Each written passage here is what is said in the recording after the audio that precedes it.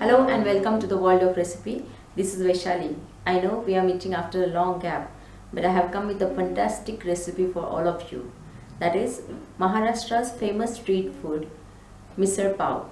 It's most famous in Pune, Mumbai and Nashik. So quickly see the ingredients.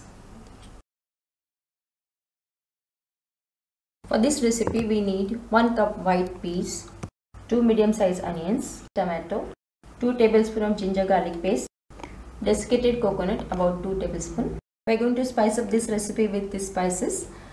These are red chilies, 3 or 4 red chilies you can take. Uh, cinnamon stick, these are 2 long sticks. Cloves about half tablespoon. Peppercorns about 1 tablespoon. And this is sev bhaji masala about 1 tablespoon. I am using sev bhaji masala here. You can use garam masala as well chili powder as you require. As we are using red chilies you can use this red chili powder according to your taste. Turmeric powder about 1 teaspoon. Salt as per requirement. We are going to use some farsan while serving. And of course we are going to serve it with the pav. Let's start with the recipe now I have soaked this white peas in normal water for about 3 to 4 hours and then I have uh, pressure cooked it for 2 whistles in pressure cooker. Now I am going to grind this uh, spices in a grinder till it becomes a fine powder. I put this peppercorns, cloves, chilies and cinnamon stick. I am going to grind it for the fine powder. This spice powder is ready. These were uh, raw spices. Now I am going to roast it. Heat up one pan. Add oil to the pan. Here I am adding about 2 tablespoons of oil. We are using more oil in this recipe as it's a spicy and flavorful recipe. As the oil is hot, we are going to add these onions.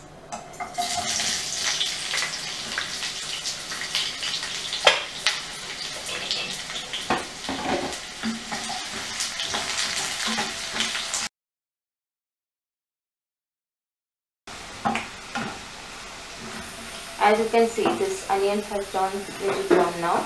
We'll add this ginger and garlic paste.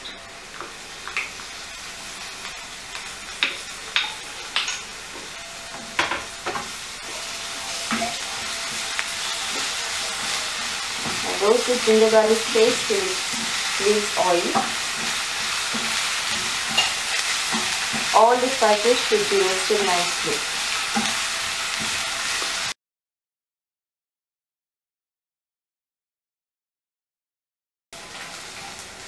Now this ginger garlic paste has roasted nicely.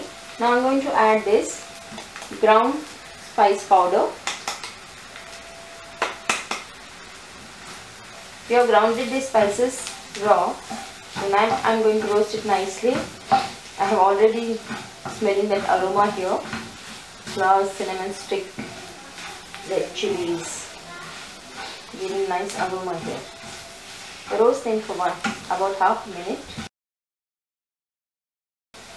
and after that put this desiccated coconut and roast it again till the coconut becomes dark brown in color.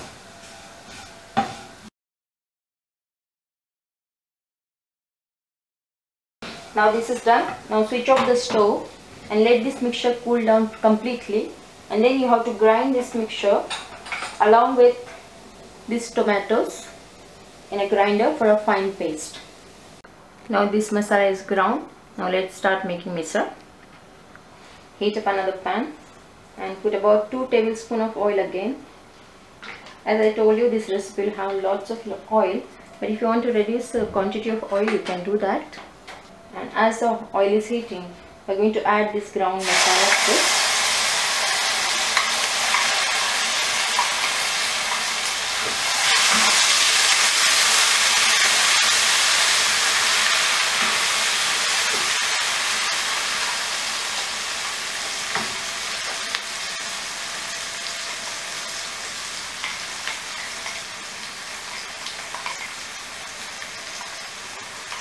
Later you can wash this jar and put this water in the curry.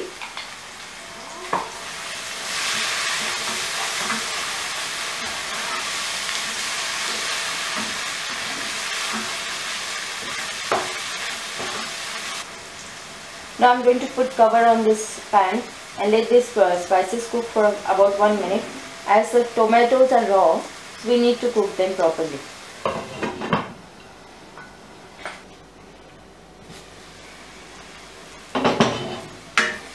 Now as you can see, the tomatoes are cooked.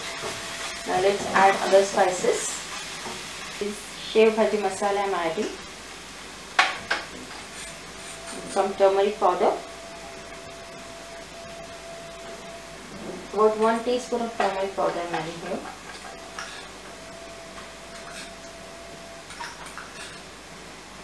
And 3 teaspoon of salt.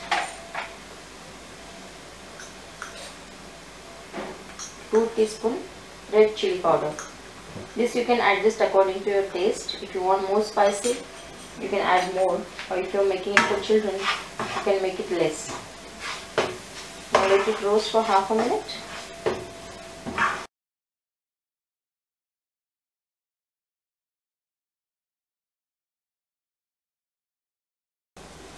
As the spices are roasted now, I am going to add this white peas. I am going to add this white piece along with little water in this.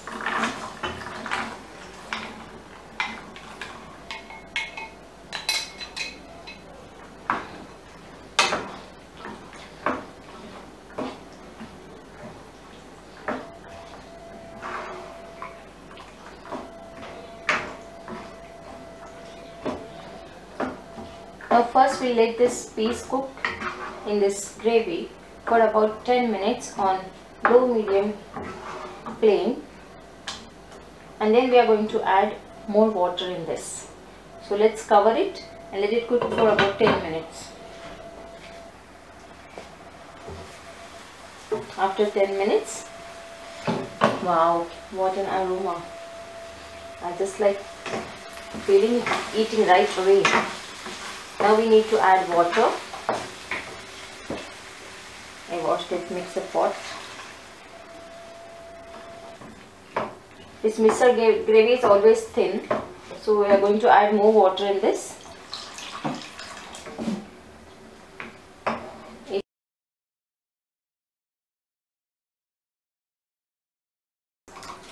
This much thin consistency should be there.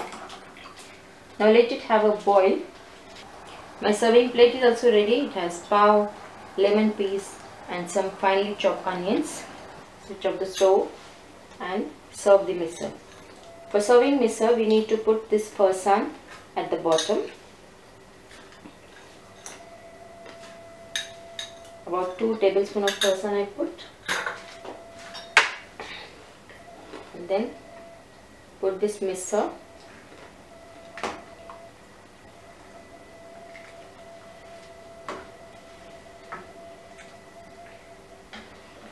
garnish it with some onion and tomato pieces.